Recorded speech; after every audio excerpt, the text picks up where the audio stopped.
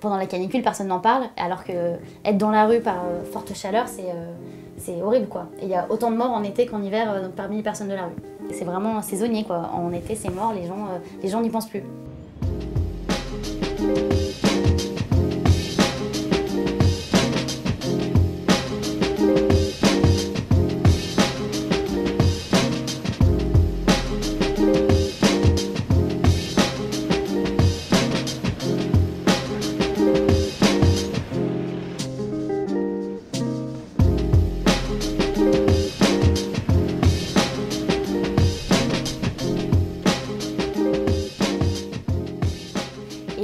Forcément les gens partent en vacances, euh, ils imaginent moins que la chaleur peut être aussi un vrai fléau. C'est aussi le fait d'être déshydraté en permanence. Donc euh, parmi les conseils qu'on donne, on dit, on dit surtout munissez-vous de bouteilles d'eau et ils ont toujours avec vous pour en distribuer. Des, boissons fraîches, euh, de l'eau fraîche pour les néocongèles avec des sirops de grenadine, des sirops de menthe. Pour se protéger, on allait plutôt dans les, dans les bibliothèques, tout ça, pour se protéger de, de la chaleur. Pour ceux qui ne connaissent pas, c'est difficile, voilà.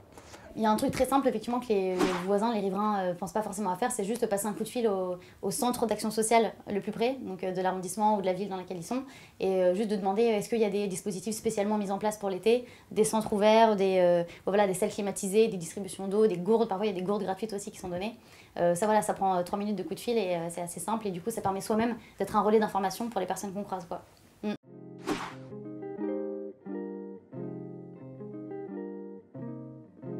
Tous les points d'eau. Il y a plein de points d'eau quand même, il faut le savoir, dans Paris. Il y a des fontaines, il y a des fontaines d'eau pétillantes même, donc on peut les orienter. on répond à leurs questions et pour les gens qui ne savent pas quoi faire, on, peut quand même aller un peu plus loin.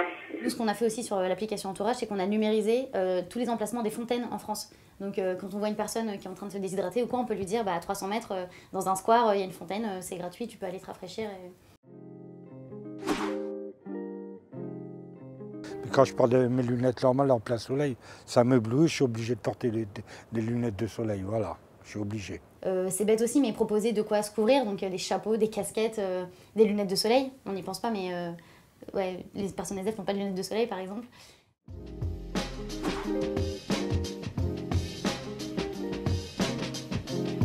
Vigilance, des vigilant tout simplement quand on, on, marche dans la rue et on voit quelqu'un seul sur un banc quand il fait très chaud et la personne a l'air pas, très en forme, rien n'empêche de s'asseoir à côté, de dire euh, euh, est-ce que ça va et est-ce que vous avez bu de l'eau aujourd'hui par exemple? Il y a des gens qui dorment, on ne sait pas s'ils sont encore euh, vivants ou morts, comme j'ai dit.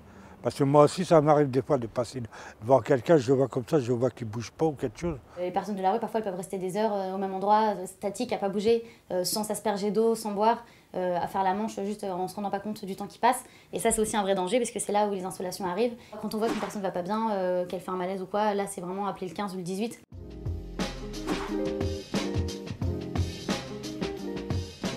Leur demandez comment ils vont, qu'est-ce qu'ils ont besoin exactement, leurs besoins, tout ça. On n'a pas besoin de bénévoles pour, pour euh, s'intéresser à ce qui se passe à côté de nous, euh, chez les voisins euh, ou, euh, à des personnes qu'on croise dans la rue. On, peut aussi avoir un œil attentif dans cette période compliquée. Et ça fait mal d'être solitaire.